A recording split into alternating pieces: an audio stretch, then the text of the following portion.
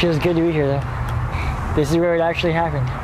It happened two years ago. Dallas Wiens was finishing up a painting job at Ridglea Baptist Church in Fort Worth when his lift drifted into power lines. He woke up three months later with his face burned off, just grateful to be alive.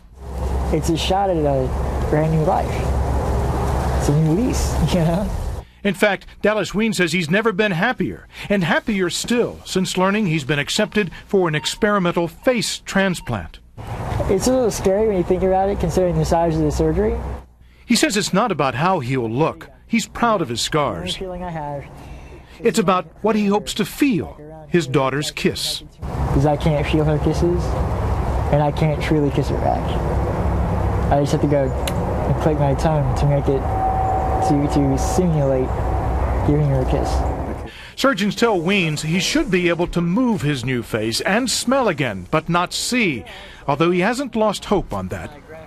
Because I'm 25 years old, and 15 years ago, a face transplant was science fiction. What's going to happen in the next 15 years? I've got a lot of life left. He's working towards a law degree to advocate for the blind. His surgery will be at Brigham and Women's Hospital in Boston, where doctors performed one of only two face transplants in the country. they thought I would be a vegetable. And as time went on, they were going to realize that there's absolutely zero damage done to my brain. And I joke with the doctors and I say I got a jump start. Dallas Wiens doesn't call what happened to him an accident.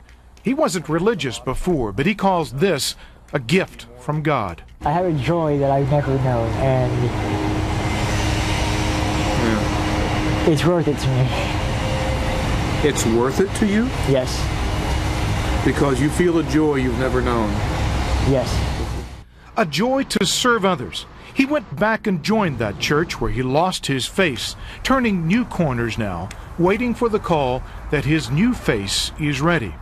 In Fort Worth, Jim Douglas, Channel 8 News.